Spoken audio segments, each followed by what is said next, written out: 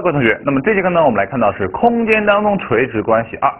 那么在这一讲当中呢，我们讲主要关注的是这个面面垂直。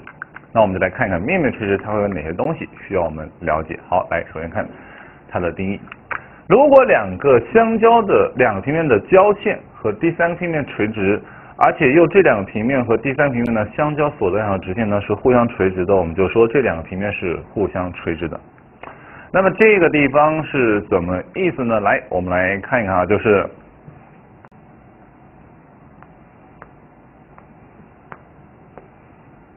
就你想象一下，这个地方是阿尔法、贝塔两个平面，然后呢，L 是它的交线，对吧？那么有一个第三个平面呢，是我们的伽马。那么伽马满足什么条件呢？伽马满足条件是这个 L 和伽马垂直啊，就是比如说把伽马画在这，伽马。L 和伽马垂直，然后呢，我们这个阿尔法和伽马会有个交线，假设是 A；贝塔和伽马有个交线，假设是 B。如果说这个地方 A 和 B 是相互垂直的，意味着这就是一个直角，对吧？那么如果是满足这些条件的话，我们就说这两个平面阿尔法和贝塔呢是相互垂直。那么我们后面会讲的一个概念叫做二面角啊，就是这个地方呢，如果两个平面是相互垂直的话，那么它的二面角呢就是九度啊，就是我们的直角。OK，好，这是我们这个面面垂直的一个简单的定义啊，不知道大家是否能够理解？好，下面我们继续来看，来，我们看一些简单的呃判断题啊，就是这个地方呢，主要是考验大家这个空间想象能力啊，就是第一个，如果一条直线垂直于一个平面，则垂直这条直线呢必平行于另外平行于这个平面，对不对呢？如果一条直线垂直于一个平面，则垂直这条直线的另一条直线必平行这个平面，对不对啊？就你可以想，这地方有个平面阿尔法，对吧？这地方有个 L，L 和阿尔法垂直，那么垂直于这条直线的一个直线，比如说 M，会和这个阿尔法平行，对不对呢？注意，它有可能平行，还有可能什么？会在阿尔法上。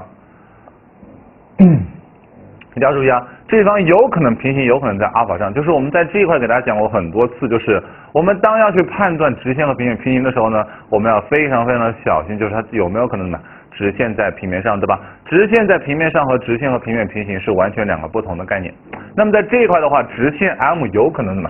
在我们的阿尔法上，也就是怎么样，在这。那么它会满足 L 和阿尔法平行，对吧？然后 L 和这个 M 垂直，但是呢，这个直线 M 并不在这个什么，并不是和这个平面平行，而是在平面上。第二个，如果一条直线平行于一个平面，则它和这个平面内的任何直线都不垂直，对不对呢？对不对？如果一条直线和一个平行平面，那么它和这个平面内的任何直线都不垂直，对不对？这肯定是不对的，对吧？这个我们在前面是讲过，如果直线和这平面平行的话，那么它会和这个平面内应该怎么？应该是无数条直线都垂直。来第三个，平行同一个平面的两条直线是可能垂直。注意啊，平行同一个平面的两条直线可能垂直，对不对呢？这个怎么？这个是 OK 的，这是有可能的，对吧？你想，这个地方有这样的平面阿尔法，然后呢，L 和 M 在这，这是 L，这是 M，那么这两条直线呢是和这个底面是平行的，那么它呢也可以是垂直，对不对？第四个，垂直于同一条直线的两条直线相互平行，对不对呢？这个如果是在我们平面当中的话是没有问题的，注意啊，如果这个是在平面当中呢是没有任何问题的，但是这个地方在我们空间当中就会就会出问题。你想，这条直线是这样的，然后呢，有一条直线这样和它垂直，然后有一条直线这样和它垂直，那么这条和这条的话，显然怎么？显然它不是平行，对吧？所以第四个呢也是不对的。第五个，垂直于同一个平面的两个平面都垂直，对不对？这个地方呢，就会考察我们什么面面垂直，你这个地方的想象能力，就是有一个平面在这，对吧？比如说坑神的手掌，然后有两个平面和这个手掌平面都垂直，那么这两个平面一定会垂直吗？有没有？一定会垂直吗？应该说有可能垂直，有可能不垂直，对吧？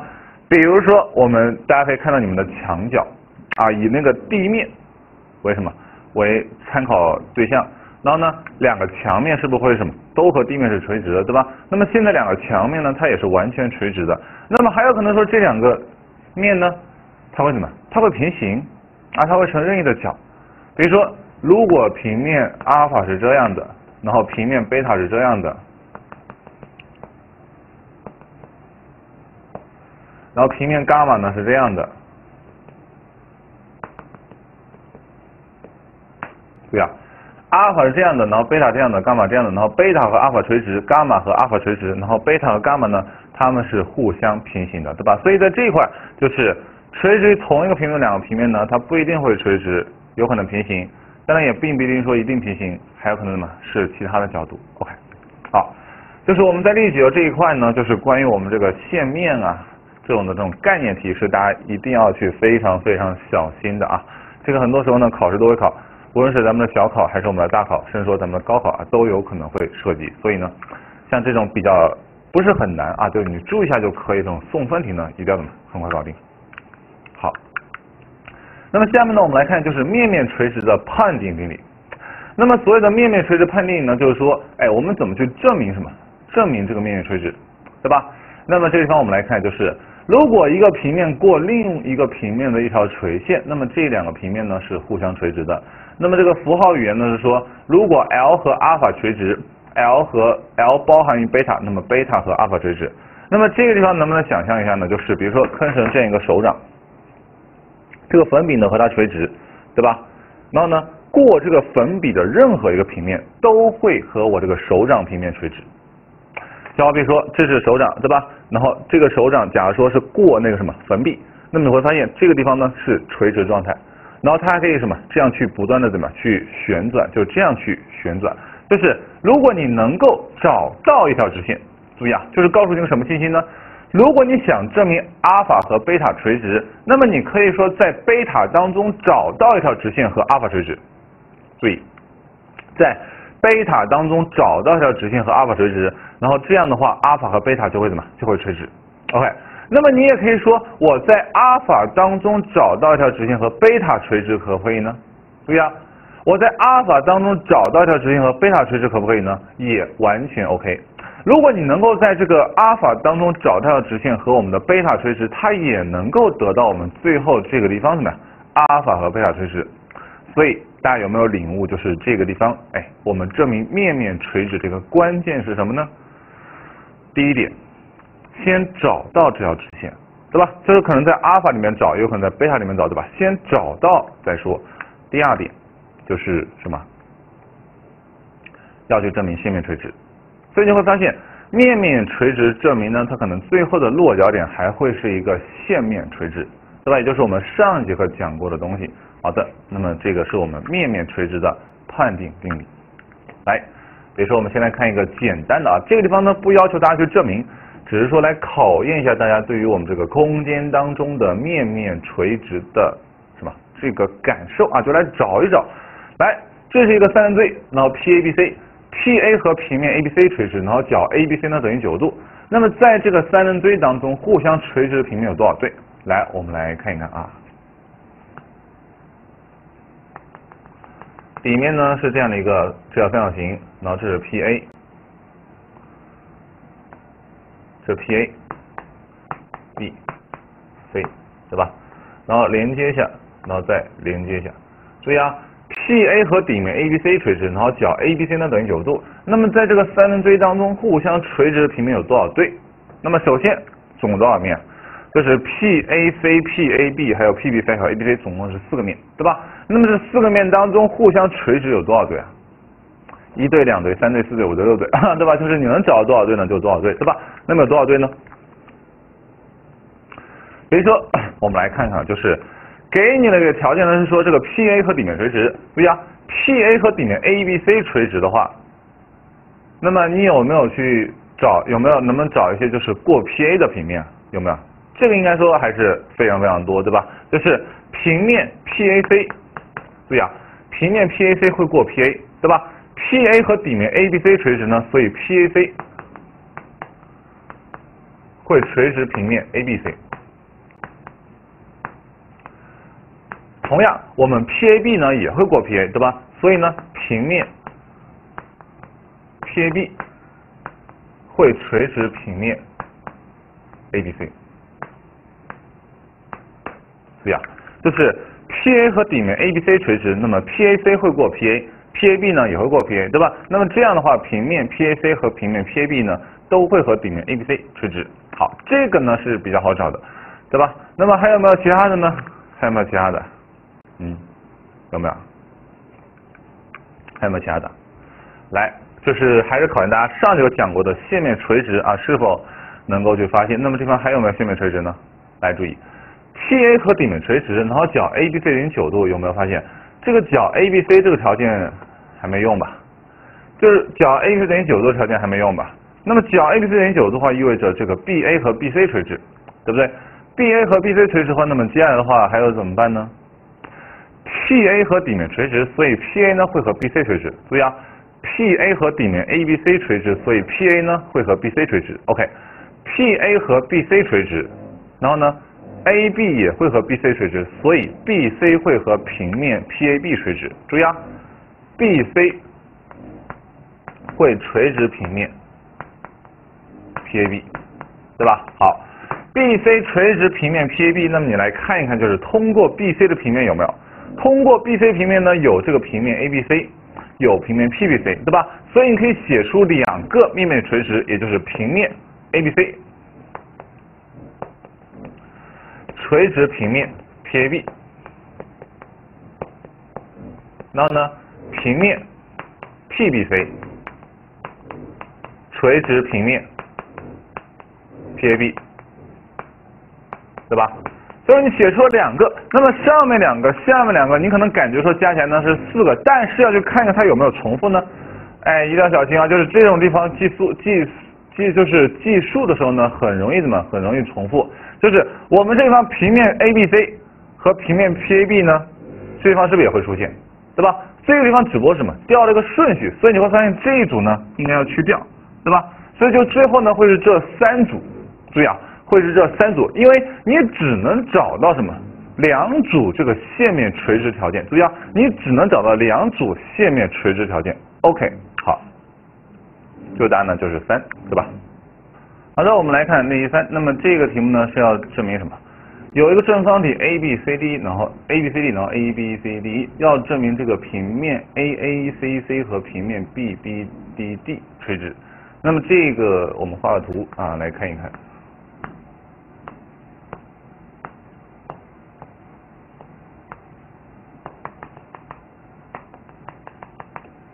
A B C D A B 平面 A C 啊，平面 A A E C E C 呢，就是我们这个对角面，对吧？平面 B B B D 呢，就是我们这个对角面。OK，要证明这个对角面垂直，来怎么证呢？应该说这道题目还是比较简单的啊，就是我们来稍微的，就是讲一讲啊，就是先要找到一条直线。对吧？我们在前面讲过，就是你要证明面垂直呢，关键是先搞定一个线面垂直。那么无论说这个线来自于哪个平面都可以，对吧？那么在这一块的话，你会找谁来去证明线面垂直呢？大家需要注意啊，就是你要证明这种面面垂直，很多时候呢，它描述这个平面的时候会带有什么？这个有可能是个四边形啊，会有可能是个三角形，对吧？那么在这一块呢，我们优先考虑这个图形的边。啊就比如说 A A C C 呢，就是 A A 一啊 C C 一还有 C C 还有 C A 呢，优先考虑这些边，然后快速的来判断一下有没有可能，对吧？如果说没有可能的话，那么就赶快否定，然后再换另外的边或者换另外的平面图形。应该说这道题还是比较好找的，就比如说我们拿这个 A A C C 来举例。由于我们这个 AA 和 CC 平行，AC 和 AC 平行，所以呢，其实只需要考虑两种情况就可以了，对吧？就是我们的 AA 和我们的 AC 有没有可能和这个平面 BBDD 垂直？有没有可能？比如说，先考虑 A，A 有没有可能呢？就是这个，这个面垂直，你觉得有可能吗？你稍微的想想就发现基本没有可能，为什么？A A 一和这个 B B 一平行，所以 A A 一和这个平面是平行的，怎么可能垂直呢？对不对？所以这条边就不用考虑。那么 A C 有没有可能呢？有没有可能？这是个正方体，正方体的话底面呢是个正方形，对吧？所以呢这个地方会是个直角，对吧？这地方会是个直角。其次呢，我们这个地方怎么样？BB1 是这个侧棱，侧棱的话正方体的侧棱是和上下底面垂直的，所以这个 BB1 呢会和这个什么 A。C 垂直，那么这样的话，我们就会得到什么？AC 和这个 BB1 垂直 AC 和这个 BD 垂直，所以呢 AC 和平面 BBDD 垂直，然后再加上这个 ACCA 呢通过这个直线 AC，所以呢这两个平面就会垂直，对吧？那么好，我们找这个 AC 可以，那么找其他的可不可以呢？找其他的可以吗？还可以找谁呀？我们还能够找这个地方的 BD，注意啊，找 BD，就是说，哎，BD 和 AC 垂直，啊，注意啊，BD 和 AC 垂直，然后呢，我们这个地方的 AE 和 BD 垂直，所以 BD 会和这个对棱 ACCA 垂直，然后 B 平面 BDED 会通过我们的 BD。所以呢，这个平面 BBDD 呢和这个平面 ACCA 呢是？是相互垂直，对吧？所以这个地方就是先去找，找完以后呢再去证。那么找的时候呢，我们常考虑的就是它是什么？它这些边长，就是不用去怎么想太多。如果说这个边长不行呢，我们再去考虑一些其他的辅助线，对吧？我们会在后面呢来给大家做个讲解。来看这个。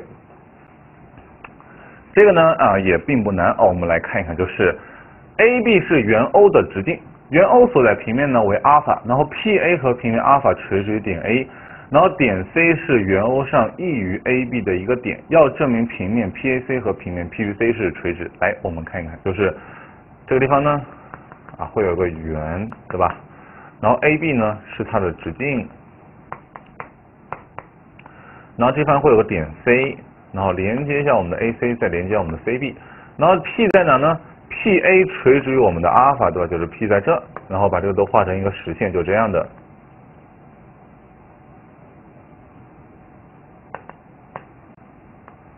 来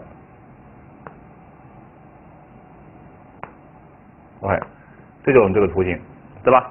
然后这是个圆，啊，我就不去画实了，就是。要证明这个平面 PAC 和平面 PBC 垂直，来怎么证呢？嗯，怎么证？就首先我们要去挖掘一下这里面有哪些垂直条件啊？就首先 PA 和底面垂直，所以呢 PA 和底面这个 AB、BC、AC 这三条直线都会垂直，对吧？那么还有没有什么其他的垂直条件呢？有个隐藏的，就是我们这个 AB 是圆的直径，注意，AB 是圆 O 的直径。然后呢，点 C 是圆上任意一点，所以这个地方有什么结论成立呢？相信同学应该想到，就是我们角 ACB 这是个圆周角，圆周角它对应我们的直径的话，所以这个角这个角呢是九度，对吧？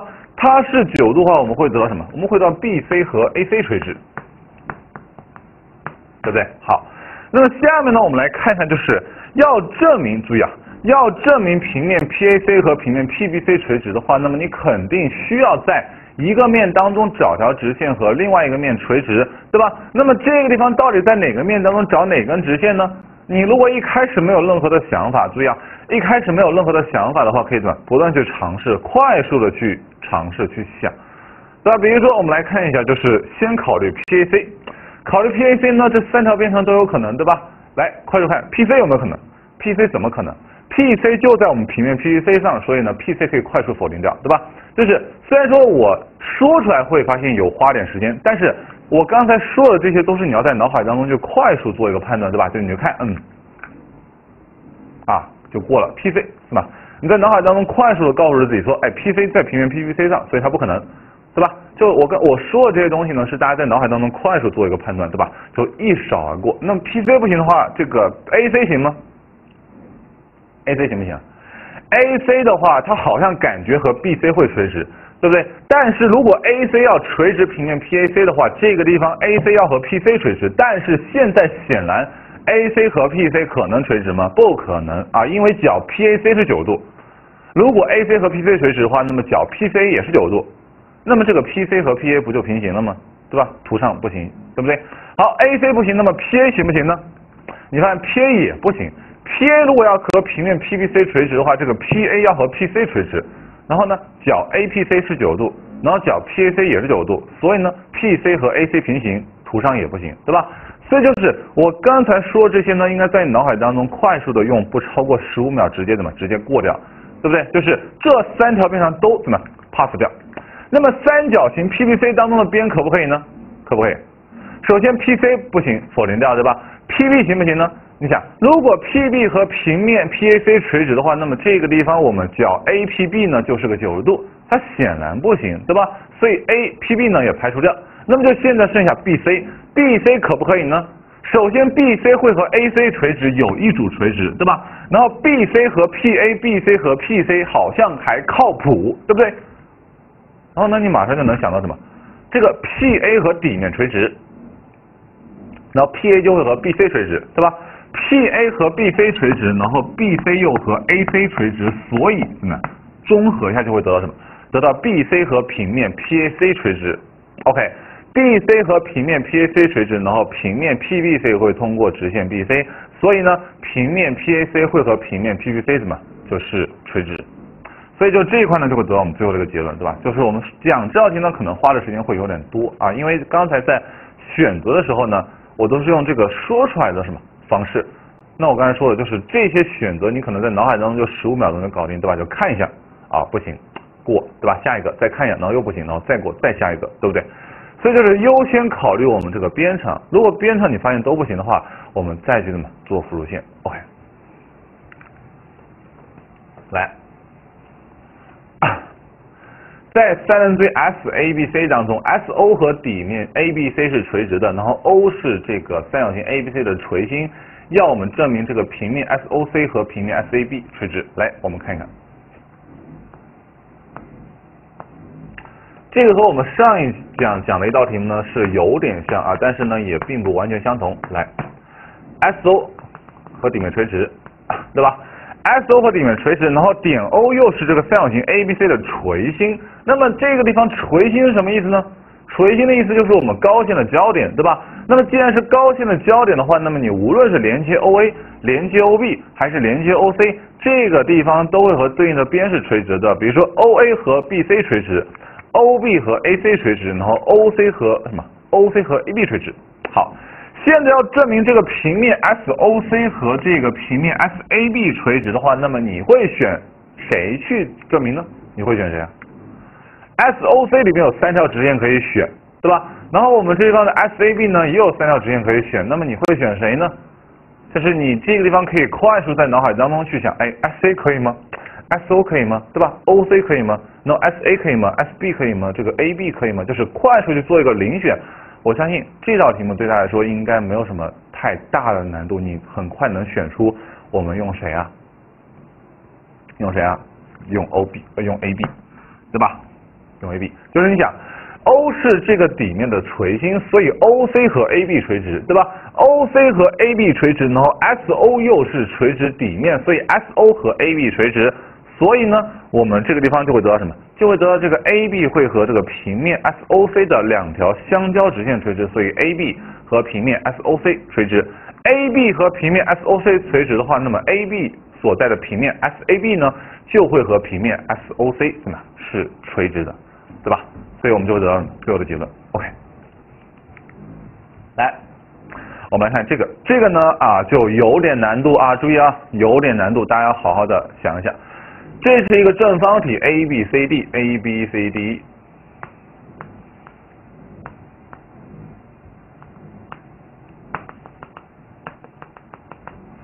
A B C D A B C D OK 好，在这正方体当中，E F 呢分别是 A B 和 C D 的中点啊，点 E 呢在这，然后点 F 呢在这。那要我们证明一下平面 A B C D 在这，这个平面和平面 A E 啊点 E 在这，这点 E 和平面 A E C F 垂直对吧？A E 呢在这，然后呢 C F 在这，然后呢啊 C E 在这，CEF 在这，然后呢 A F 在这，啊就是稍微的稍微的想象一下啊，就是。平面 A B C D 和平面 A E C F 呢是垂直的，那么这个地方怎么证呢？你是不是还是要去找一条直线，对吧？那么这个地方呢，无论是我们平面 A B C D，还是我们的平面 A E C F 呢，它都会是一个什么四边形，对吧？那么就考虑一下我们这个地方的四边形是否满足条件，四边形的四条边长是否满足条件，对吧？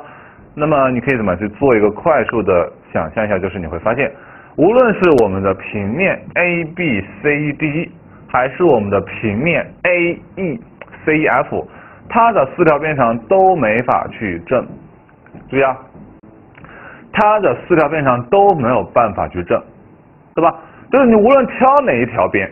你无论挑哪条边都没法去证明它和另外一个面垂直，对吧？那么这时候怎么办呢？啊，就遇到问题了，怎么办呢？注意，在这个时候呢，我们就要考虑什么？考虑辅助线了，对不对？那么考虑辅助线的话，这个辅助线考虑谁呢？对吧？很多时候考虑谁呢？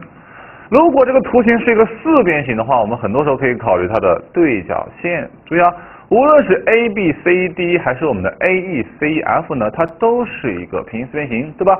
我们可以考虑它的对角线，就是我们的 ACE 啊，还有我们的 BD、BDE 啊，对吧？还有我们的 EF 呢，是否满足条件？那么你再去稍微的想想，会发现我们这个 ACE 就可以不用考虑了。为什么？ACE 的话，两个平面都有。可是换一个角度说，我们 ACE 会是这两个平面的交线，你怎么可能拿交线去证明我们这个和平面垂直呢？对吧？所以就 pass 掉。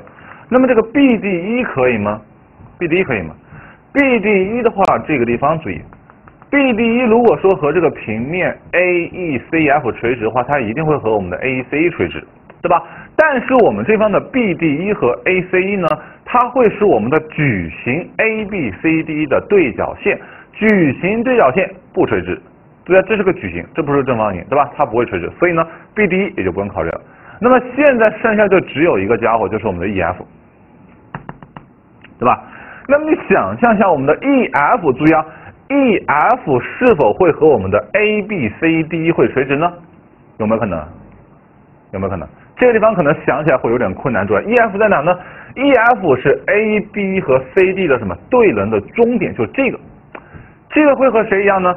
哎，你把这地方的 BC 一连，注意啊，把这方的 B BC 一连，注意。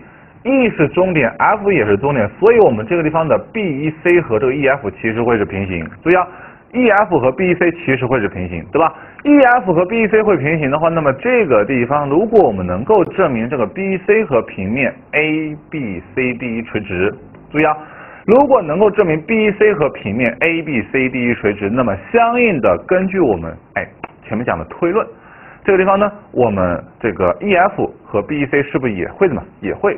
啊，EF 和这个平面 ABCD 是不是也会垂直，对吧？那么好了，直线 BC 和平面 ABCD 会垂直吗？啊，这个应该就会非常好证吧？你想，这个右边这个平面，这是个垂直的，右边是个正方形，对吧？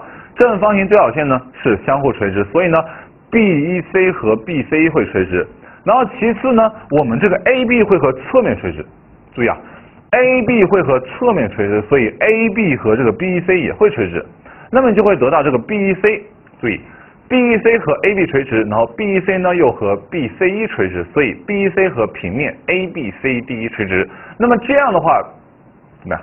我们的 EF 就会和 ABCDE 垂直，那么最后呢，我们这个平面 AECF 就会和我们的平面 ABCDE 垂直，所以这块呢。就比刚才呢要难一点，就会发现怎么样？我们的边长是不太靠谱的，那么只能怎么？只能去拜托我们这个地方的一些辅助线。那么如果是四边形的话，它的辅助线很多时候考虑谁呢？考虑我们的对角线。